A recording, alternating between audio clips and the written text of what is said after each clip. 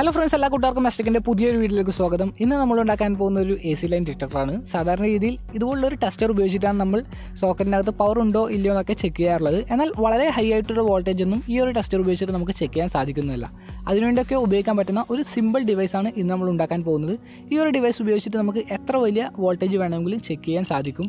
കാരണം ഈ ഒരു ഡിവൈസും എ സി ലൈനും തമ്മിൽ ഡയറക്റ്റ് ഒരു കോൺടാക്റ്റും വരുന്നില്ല. ഏതെങ്കിലും ഒരു എ സി പവർ സോഴ്സിന്റെ അരികിലേക്ക് ഈ ഡിവൈസ് കൊണ്ടുപോകുമ്പോൾ തന്നെ ഇത് നമുക്ക് ഇൻഡിക്കേഷൻ തരുന്നതാണ്. ഈ ഒരു സർക്യൂട്ട് ചെയ്യുവാൻ വേണ്ടി ഏറ്റവും ഇമ്പോർട്ടന്റ് ആയിട്ട് വേണ്ടത് ഫോർ സീറോ വൺ സെവൻ എന്ന് പറയുന്ന പതിനാറ് പിന്നുള്ളൊരു ഐ സി ആണ്. അതുകൂടാതെ ഒരു ബസർ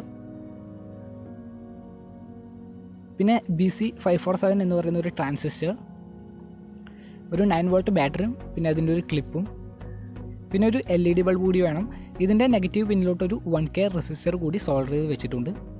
ഇനി ഇതിന്റെ കണക്ഷൻസ് സ്റ്റാർട്ട് ചെയ്യാം. ഈ ഐ സിയുടെ മുകൾ ഭാഗത്തായിട്ടൊരു നോച്ച് കാണാൻ സാധിക്കുന്നുണ്ടാവും. അതിന്റെ ലെഫ്റ്റ് സൈഡിൽ നിന്ന് മുകളിൽ നിന്ന് താഴോട്ടേക്ക് ഒന്ന് മുതൽ എട്ട് വരെയുള്ള പിന്നും റൈറ്റ് സൈഡിൽ നിന്ന് താഴെ നിന്ന് മുകളിലോട്ട് ഒമ്പത് മുതൽ പതിനാറ് വിലെ പതിനാറ് വരെയുള്ള പിന്നുമാണ് വരുന്നത്.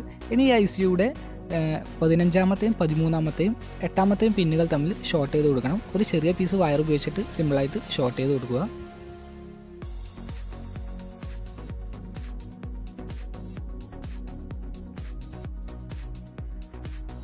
ഓക്കെ ഇപ്പോൾ ആ വർക്ക് കംപ്ലീറ്റ് ആയിട്ടുണ്ട്. നിങ്ങൾക്ക് അതിന്റെ കണക്ഷൻസ് ഇപ്പോൾ കാണാൻ സാധിക്കുന്നുണ്ടാവും.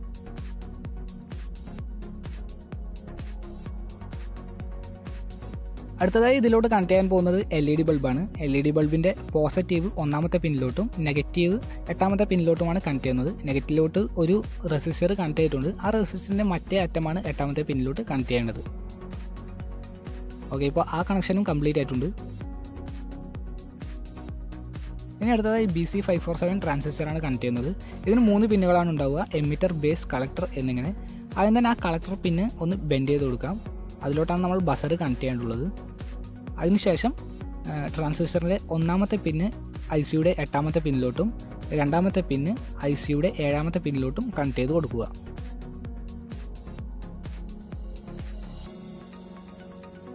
ഓക്കെ ഇപ്പോൾ ട്രാൻസിസ്റ്ററിന്റെ കണക്ഷനും കംപ്ലീറ്റ് ആയിട്ടുണ്ട്. അതിന്റെ കണക്ഷൻസ് നിങ്ങൾക്ക് കാണാൻ സാധിക്കുന്നുണ്ടാവും. ഇതുപോലെ തന്നെ ചെയ്യുക. ഇനി ട്രാൻസിസ്റ്ററിന്റെ മൂന്നാമത്തെ പിന്നിലോട്ട് അതായത് കളക്ടർ പിന്നിലോട്ടാണ് നമ്മൾ ബസർ കണക്ട് ചെയ്യുന്നത്. ഇനി ആ ബസറിന്റെ നെഗറ്റീവ് പിന്ന് ആ ട്രാൻസിസ്റ്ററിന്റെ മൂന്നാമത്തെ പിന്നിലോട്ട് കണക്ട് ചെയ്ത് കൊടുക്കുക.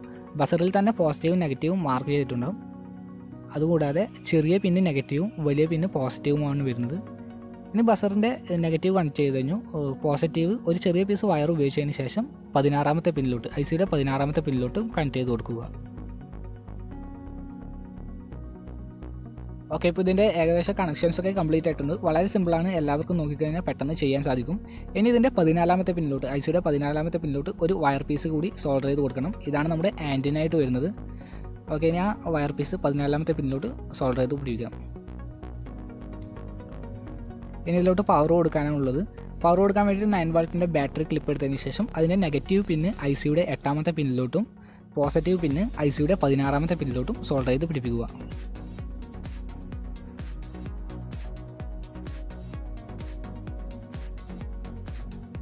ഇപ്പോൾ ഇതിന്റെ കണക്ഷൻസ് മുഴുവനായിട്ട് കംപ്ലീറ്റ് ആയിട്ടുണ്ട്. ഇനി ആ ബാറ്ററി ക്ലിപ്പിലോട്ട് നയൻ വോൾട്ട് ബാറ്ററി കണക്ട് ചെയ്തതിന് ശേഷം ഇതിന്റെ വർക്കിംഗ് ജസ്റ്റ് ഒന്ന് നോക്കാം. അതൊരു സോൾഡർ ഗാൻ ഉപയോഗിച്ചിട്ടാണ് നമ്മൾ ചെക്ക് ചെയ്യാൻ പോകുന്നത്. ആ സോൾഡർ ഗാൻ ആ ആന്റീനയുടെ അരികിലേക്ക് കൊണ്ടുപോകുമ്പോൾ തന്നെ ഒരു ഇൻഡിക്കേഷൻ നമുക്ക് ലഭിക്കുന്നുണ്ട്. L E D bulb blink ചെയ്യുന്നുണ്ട്. അതുപോലെ തന്നെ ബസറിൽ നിന്ന് സൗണ്ടും വരുന്നുണ്ട്. ജസ്റ്റ് അരികിലേക്ക് കൊണ്ടുപോകുമ്പോൾ തന്നെ നമുക്ക് ഇൻഡിക്കേഷൻ ലഭിക്കുന്നതാണ്. ടച്ച് ചെയ്യേണ്ടത് അങ്ങനെയുള്ള ആവശ്യമൊന്നുമില്ല.